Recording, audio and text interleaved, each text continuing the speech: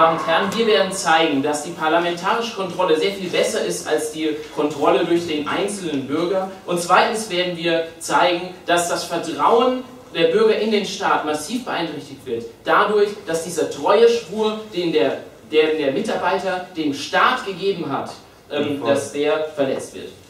Ähm, eine Sache, bevor ich mit meinen Punkten anfange, noch zur ersten Regierung. Die Opposition hat ja schon gesagt, dass diese, äh, der Schaden sehr, sehr schwer zu messen ist. Noch ein Punkt dazu. Gerade dann ist es so, wenn dieser, da dieser Schaden gerade dadurch besteht, dass das Ansehen dieses Landes in der Welt massiv beeinträchtigt wird. Dieser Schaden kann natürlich tatsächlich überhaupt nicht quantifiziert werden und äh, das nur ähm, zur Ergänzung. Ähm, ich beginne mit der parlamentarischen Kontrolle. Andere Punkte der äh, Gegenseite sind mit dabei. Die Sache ist doch, dass wir in einem ähm, liberalen Staat ähm, im Prinzip Werte gegeneinander abwägen müssen. Und da sagt zuerst mal die erste Regierung, ja, ähm, wir wollen im Prinzip immer diese Freiheit haben, das sind die Werte, für die wir stehen. Und da sagen wir, das kann zuerst einmal jede äh, Gesellschaft für sich entscheiden. Da gibt es ähm, Nationen, die eben sagen, die Sicherheit ist mir wichtiger oder in dieser Situation. Das heißt, man muss da abwägen und dann ähm, würde jeder irgendwelche Sachen sehen, wo man sagt, wir müssen auch als Staat irgendwie Verbrechen bekämpfen. Das heißt, wir müssen irgendwie ähm, um diesen Verbrechen zu bekämpfen, müssen wir, finden wir es gut, dass klar gemacht wird, was tatsächlich gemacht wird, der Rahmen sozusagen der Überwachung innerhalb des Staates oder auch nach außen hin, dass der klar ist. Es ist aber wichtig, dass die konkrete Ausführung geheim bleibt. Was genau wird überwacht? Wo sind wir tatsächlich? Das ist wichtig, damit der Verbrecher nicht genau weiß, was gemacht wird und nicht vorgewarnt wird und genau das weiß. Das hat ja im Prinzip auch schon ähm, die Opposition ähm, angefangen.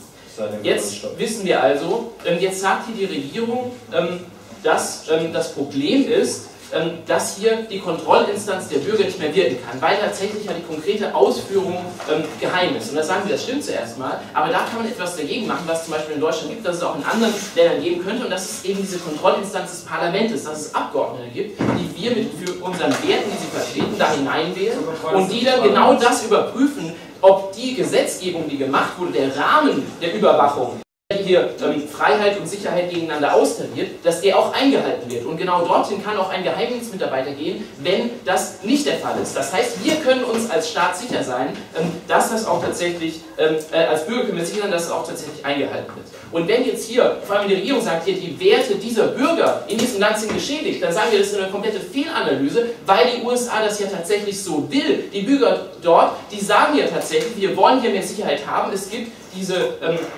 es gibt diese, ähm, äh, äh, es gibt diese Gesetzgebung und wenn tatsächlich einmal sich darüber hinweggesetzt wird, dann kann man das durch eine parlamentarische Kontrolle regeln. Und deswegen, das hier auch noch zur schließenden Regierung, die sagt, manchmal unterstützt das ja die, Regierung gerade, aber für eine parlamentarische Kontrolle müssen tatsächlich Abgeordnete aller Fraktionen das unterstützen, weil dort auch tatsächlich alle Fraktionen drinstehen und ähm, hier berichtet werden muss an diese, ähm, die können Berichte lesen und andere Personen können auf die Parlamentarier zugehen. Nein, danke. Wie sieht es jetzt mit der Kontrolle ähm, durch den Mitarbeiter aus, was hier gesagt wird? Da sagen wir, gibt es zwei Probleme. Zum einen ist überhaupt nicht klar, dass die gleichen Werte vertritt wie die Gesellschaft. Wenn der zum Beispiel sagt, mir ist Freiheit ganz, ganz wichtig und die bürgerlichen Rechte, die euch anscheinend auch so wichtig sind, und sagt, das sollen alle wissen. Aber sehr viele andere Menschen, die mehr in diesem Staat, sagen mir, ist es wichtiger, dass hier ein paar weniger Terroranschläge ähm, entstehen und auf der anderen Seite bin ich bereit, dafür in Kauf zu nehmen, dass ich mehr überwacht werde. Das heißt, dann verrät er das diesen Leuten, macht das im Prinzip kaputt, macht diese, diesen Sicherheitsaspekt kaputt und diese Einzelperson wird das jetzt auf einmal zugemutet und sie kann entscheiden. Vor allem glauben wir aber noch eine zweite Sache und das ist der Heldenstatus, der dadurch entsteht. Wir glauben nämlich, dass wir alle tatsächlich Snowden lieben. Das ist, ein, äh, das ist hier ein Held für uns und dieser, dieser Mythos, der um diese Person entsteht, dieses persönliche Interesse, was dazu kommt, das führt dazu, dass diese, dass diese Interessensabwägung, sei es jetzt im Inland oder sei es im Ausland, überhaupt nicht funktioniert, weil nämlich hier ich, vielleicht sind es auch nur ein paar, die mich danach auf einmal anbeten, weil ich jetzt hier der Kleine, der gegen den großen Staat vorgegangen ist. Das ist ja hier äh, das Deskriptiv, was hier tatsächlich, äh, das Narrativ, was hier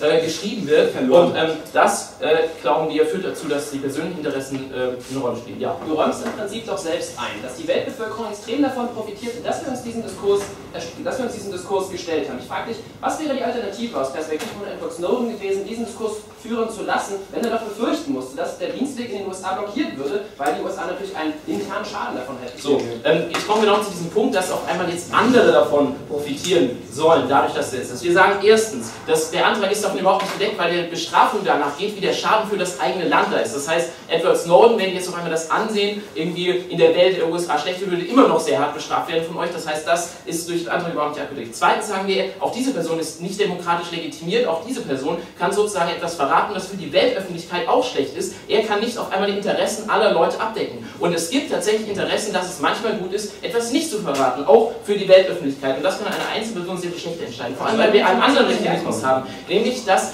ähm, liberale westliche Staaten untereinander agieren und zusammenarbeiten und dann natürlich diese Daten auch weitergeben und sich sagen, was los ist. Sie sagen, das kann funktionieren, aber es muss nicht direkt jeder wissen. Und äh, das nur zu diesem Punkt. Ich komme zum Vertrauen. Wir sagen, es ist ganz wichtig, dass Bürger ähm, Vertrauen haben, und zwar in den Staat. Und dieses Vertrauen geben sie in den Staat und der gibt das weiter an seine Staatsbedienstete, die das erfüllen müssen. Das heißt, wir haben zum Beispiel die Beamten, die schon eine treue Schwur leisten müssen, die tatsächlich ähm, ähm, die sich an den Staat halten sollen. Und bei Geheimdienstmitarbeitern ist es noch sehr viel weitergehend, dass wir sagen, da gibt es tatsächlich diesen Treueschwur, dass man sagt, wir ähm, halten uns an den Staat, wir halten uns daran, was die Bürger wollen, das äh, wird sogar sozusagen umgesetzt und das ähm, wird dann tatsächlich gemacht. Und das, glauben wir, wird hier massiv erschüttert, gerade weil doch die Regierung hier jetzt ähm, ganz unterschiedliche Strafen einfordert. Wir sagen, dafür ist es wichtig, dass es gleich bestraft wird, dass hier Verlässlichkeit da ist, dass ich mir sicher bin, wenn einer etwas verrät, dann wird er auch dafür angeklagt. Das heißt, hier, wenn es da einen langen Prozess gibt, das Ende ist ungewiss, ähm, dann können wir hier tatsächlich, ähm, dann können wir hier dieses Vertrauen in die Gesellschaft verlieren. Das heißt, dieses treue Verhältnis, dieses, dieser treue Schwur, wenn der gebrochen wird, den erachten wir hier wichtiger als irgendwelche Werte, die in anderen Ländern auf einmal aufgedeckt werden. Gerade weil es dazu führt, dass die Werte der eigenen Bevölkerung im eigenen Land stärker umgesetzt werden können. Das ist uns ganz, ganz wichtig und deswegen glauben wir, dass die Wert, ähm, wenn es darum geht, in anderen Ländern etwas Gutes zu wirken, dann müssen wir andere Mechanismen eingreifen und dann können wir es auch nicht in diese einzelne Person hineinbringen deswegen insgesamt ganz klar gegen den Antrag.